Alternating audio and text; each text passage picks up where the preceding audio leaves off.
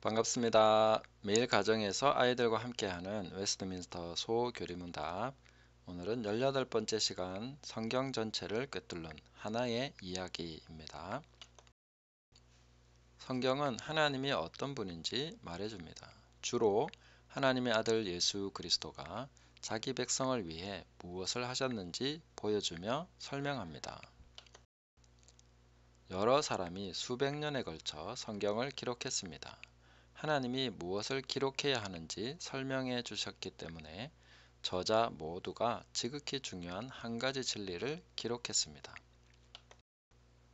하나님이 자기 아들을 통해 자기 백성을 구원하신다는 진리입니다. 이것이 성경 전체를 꿰뚫는 하나의 이야기입니다. 구약은 오실 구세주를 내다보고 신약은 오신 구세주를 되돌아 봅니다.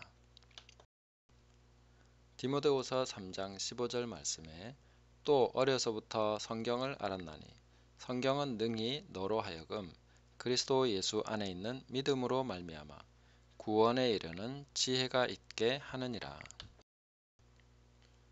이 구절은 성경이 여러분을 지혜롭게 만들어 준다고 말합니다. 그 지혜가 어디에 이르도록 합니까?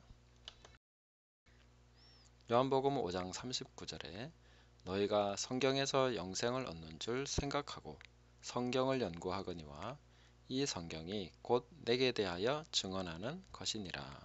아멘. 이 성경은 예수님께로 우리를 인도해 줍니다.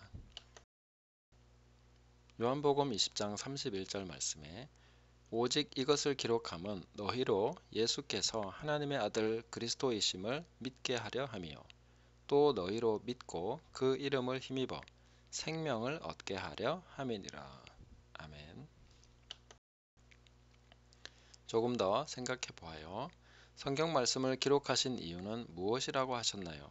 그것은 우리가 예수님이 하나님의 아들이심을 믿고 그 이름을 힘입어서 구원을 받도록 하신 것입니다. 성경은 다양한 이야기가 있지만 오직 한 분 예수님을 소개하고 알리기 위해서 기록되었음을 알아야겠습니다. 아멘.